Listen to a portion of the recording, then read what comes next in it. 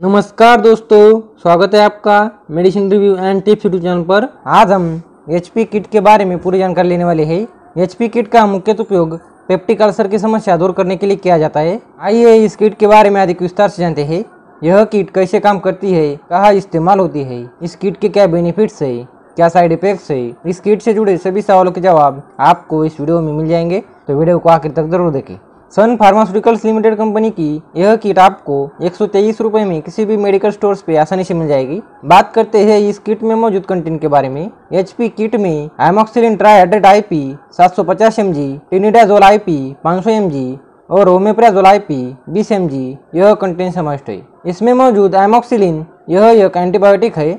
जो बैक्टीरिया के सुरक्षात्मक आवरण के निर्माण को रोक कर काम करता है, जो मानव शरीर में बैक्टीरिया के अस्तित्व के लिए आवश्यक है। और टिनिडाजोल यह भी एक एंटीबायोटिक है, जो बैक्टीरिया और अन्य सूक्ष्म जीवों को मारता है, जो उनके डीएनए को नुकसान पहुंचाकर संक्रमण का कारण बनते हैं। और साथ ही ओमेप्राजोल यह एक प्रोटॉन पंप अवरोधक है, जो पेट में एसिड की मात्रा को कम करता है और एसिड से संबंधित अपचन और अल्सर से छुटकारा दिलाता है। बात करते हैं इस किट के यूजेस की। डॉक्टर इसे किन किन समस्या में इस्तेमाल करते हैं? इसका उपयोग पेट में गैस होने की समस्या दूर करने के लिए किया जाता है और साथ ही पेट और सीने में जलन होने की समस्या गैस्ट्रिक अल्सर और साथ ही helicobacter pylori infection bacterial infection bacterial vaginosis कान में इन्फेक्शन होने की समस्या और साथ ही टॉन्सिल्स की समस्या दूर करने के लिए भी इस किट का इस्तेमाल किया जाता है और साथ ही पेप्टिक अल्सर की समस्या दूर करने के लिए भी डॉक्टर इस किट का इस्तेमाल करते हैं।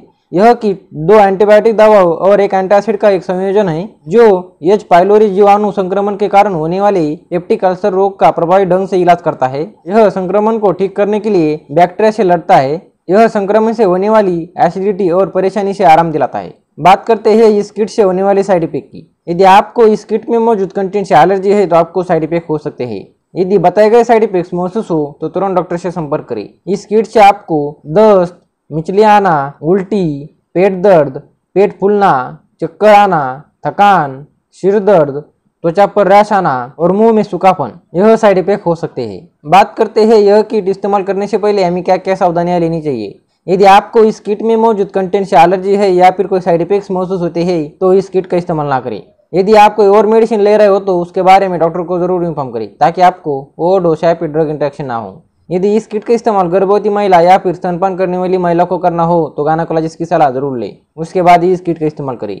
यदि आपको लीवर या फिर किडनी से जुड़ी कोई भी समस्या हो तो इस किट के इस्तेमाल डॉक्टर की सलाह के अनुसार करें। यह किट इस्तेमाल करने से पहले या फिर बाद में अल्कोहल का प्रयोग ना करें और साथ ही यह किट इस्तेमाल करने के बाद ड्राइविंग ना करें। बात करते हैं इस किट के डोज के बारे में। आप अपनी समस्या और एज बताकर इस किट का इस्तेमाल आप अपने डॉक्टर या फिर फार्मासिस्ट से पूछ लें। याद रखें दोस्तों हर रोगी और उनका मामला अलग हो सकता है। इसलिए रोगी की स्थिति, रोगी की आयु और अन्य कारणों के आधार पर इस किट का डोज अलग हो सकता है। इसलिए इस किट का इस्तेमाल डॉक्टर के सलाह के अनुसार करें।